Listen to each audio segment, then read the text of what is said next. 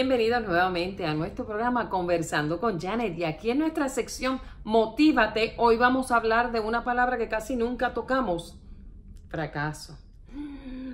Una palabra un poquito pesada, pero fíjese, fíjese, vamos a abrazar eso que la gente equivocadamente llama fracaso. Vamos a pensar, mire, cierre sus ojitos un momento. Piense que usted tiene la tarea, la asignación de construir una pared bien grande una pared alta, sólida, bastante ancha, que no se mueva fácilmente, que la pared no eh, la empujen, la toquen y la pared no se caiga, no se derrumbe. Piense que usted tiene esa tarea en las manos y hace tiempito tiene que construir esa pared, se le ha asignado esa tarea y usted no la ha comenzado porque ha visto que la tarea es difícil si lo miramos desde el punto de vista de que, wow, es una pared, tiene que ser sólida, tiene que no tambalearse cuando la sacud, cuando la traten de sacudir, no se caiga cuando traten de tumbarla, tiene que ser una pared fuerte, tiene que ser una pared bastante ancha. Esas son las instrucciones, esas son las especificaciones. Wow, ¿cómo lo voy a lograr? Claro que es difícil, ¿sabe por qué se hace difícil? ¿Sabe por qué se hace pesado? Porque lo estamos viendo desde algo, eh, desde un entero. Lo estamos viendo como algo que tengo que, boom, empezar y tener el final ya junto con el principio. Vamos a hablar hoy de esa palabrita que se llama fracaso.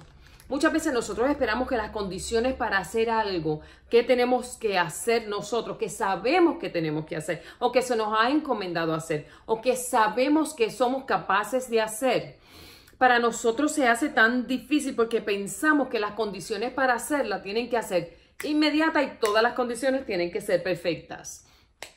Fíjese, alguien me envió algo el otro día, una amiguita mía, Paola, me envió un, es una foto que decía, mi superpoder, hacer un poquito todos los días. Y entonces se veía como iban construyendo, construyendo una pared, bloquecito a bloquecito. Y es ahí donde nosotros podemos encontrar la manera de construir esa pared que nos parece tan pesado, que nos parece tan grande el proyecto, porque lo estamos viendo y estamos tratando de brincar el puente, como decía mi abuela, estás tratando de cruzar el puente antes de llegar a él. Si nosotros nos adaptamos a ver las cosas en un proceso, fíjese que se nos va a hacer más llevadero y lo vamos a lograr.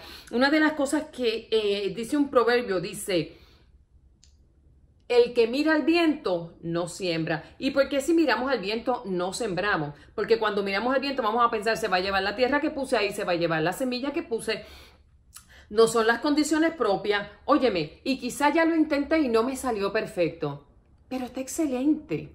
Diste un paso. No te salió perfecto, las cosas no tienen que salir perfectas cuando nosotros estamos trabajando con ellas. Quizá el resultado tiene que ser perfecto. Esperamos que sea perfecto. Quizá el resultado nosotros esperamos que sea lo que realmente hemos proyectado en nuestras cabezas, lo que realmente hemos antevisto. Y eso está excelente, porque de eso se trata. No hacemos las cosas para hacer las cosas tiradas y hacerlas a media. Solo las hacemos para tener un resultado que es el resultado esperado. Pero lamentablemente no siempre es así. Y hay muchas personas que por costumbre, una vez lo trato, no me funcionó, mm, fracasé. Y ahí es donde la palabra fracaso entra en acción en nuestras mentes y quedamos bloqueados y no lo volvemos a intentar. ¿Qué es lo importante? Fíjate, quizás esta vez no, no, no salió perfecto lo que intentamos, pero lo podemos utilizar como un proceso de aprendizaje. Eh, alguien me hizo una pregunta el otro día y me dijo, um, ¿cuál ha sido tu peor fracaso y qué aprendiste de él? Y yo le dije, bueno, eh, eh, es un poquito, no guardas relación. Y me dijo, ¿cómo que no guardas relación? Y le dije, no guardas relación porque si aprendí algo, entonces no lo puedo catalogar o ponerlo en el cajoncito de los fracasos. Entonces lo tengo que poner en el cajón de aprendizaje. Las cosas que no salen para mí son una práctica. Me están enseñando qué es lo que no debo hacer la próxima vez. Si yo puedo verlo como un proceso de aprendizaje, entonces la próxima vez que lo intente ya sé lo que debo hacer y lo que no debo hacer. ¿Qué hice correcto? ¿Qué hice incorrecto? Fíjese, cuando um, Watson estaba inventando la luz,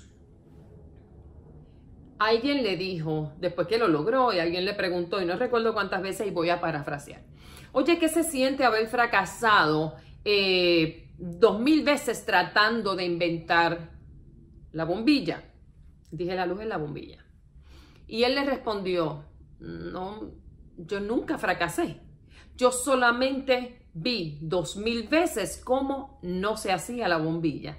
Esa es una manera sabia de ver las cosas. No lo puedo catalogar, les repito, de fracaso porque aprendí algo. Cada uno de esos dos mil intentos le llevaron al paso de entender, ok, intenté hacer esto, checkmark, no funciona. Intenté hacerlo de esta manera, checkmark, no funciona. Intenté 100 veces de hacerlo de esta manera, mm, estas son las maneras que no funcionan. Entonces, voy a ir eliminando de la lista, vamos a verlo como una manera de aprendizaje, vamos a darle valor a esas situaciones que no nos llevaron al resultado esperado y lo tenemos que ver entonces o como un fracaso si no aprendimos nada o como una manera de aprendizaje. Vamos a darle valor a la experiencia.